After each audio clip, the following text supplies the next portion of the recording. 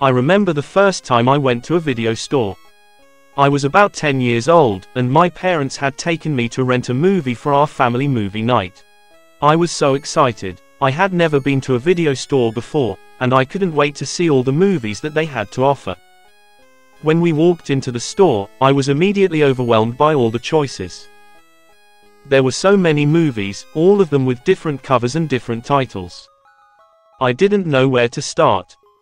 My parents helped me narrow down my choices, and eventually I picked out a movie called Ghostbusters. I had heard good things about it, and I was excited to see it.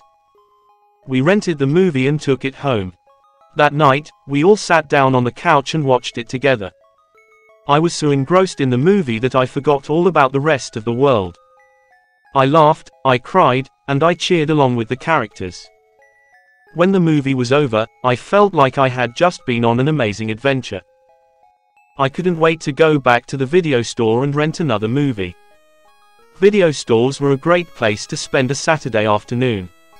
You could browse the shelves for hours, looking for the perfect movie to watch. And once you found it, you could take it home and enjoy it with your family or friends.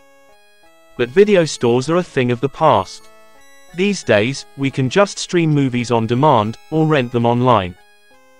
It's much more convenient, but it's also a lot less fun. I miss video stores. They were a place where you could discover new movies, and where you could make memories that would last a lifetime.